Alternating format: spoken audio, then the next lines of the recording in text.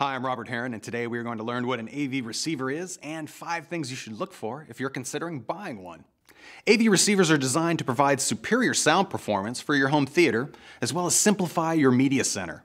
They are the intermediaries for not only your surround sound system, but also your TV set, cable satellite programming, Blu ray DVD player, computer, and other media devices. They basically act as a central hub that manages and switches between devices. This allows you to simply move from input to input with the receiver versus connecting all the cables to the TV.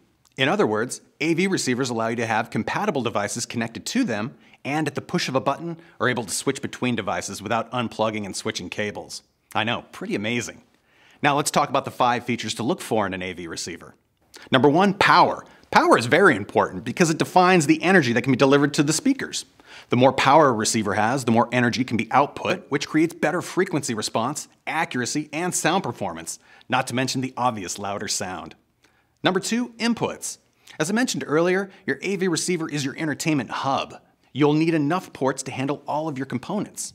This receiver comes equipped with a versatile HD connection option for flexibility in connecting all of your devices, including five HDMI inputs for your video game system, Blu-ray disc player, and cable satellite box, and two component inputs for added HD capable connectivity. Ideally, most of your devices will use an HDMI cable, as it is the best way to connect HD components because it delivers 100% digital signal for true HD video and sound.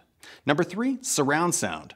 If you're buying a receiver to build your home theater, then you're going to want multi-channel surround sound. The first part represents the number of different channels, think speakers, that a receiver can output to. A 5.1 receiver can send signals up to 5 speakers, plus a sub, and a 7.1 receiver can drive up to 7 plus a sub. The 0.1 represents the low frequency channel, which requires a specialized speaker known as the subwoofer.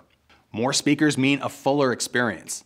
Most movies on disc are 5.1, but the market is always moving up.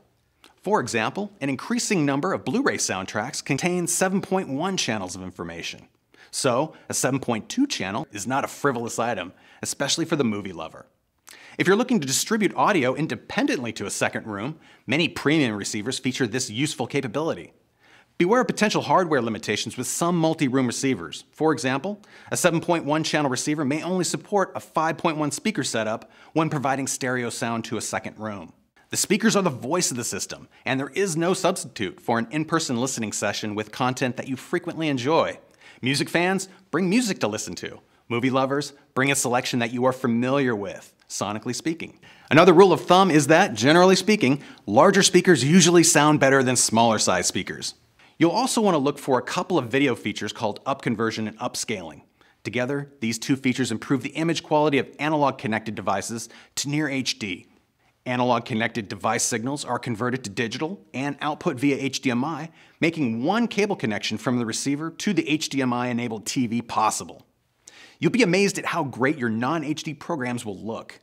And if you're a movie buff, then you'll want the signal to pass through in film frame rate of 24p. So look for 24p pass through. And if you're a 3D junkie, then some receivers on the market also pass through a 3D video signal. So your 3D Blu-ray movies can play on your big screen. Pretty cool. Number five, connectivity. Not only will you want to connect all of your home theater components to your AV receiver, but what's really cool is connecting your portable devices without wires.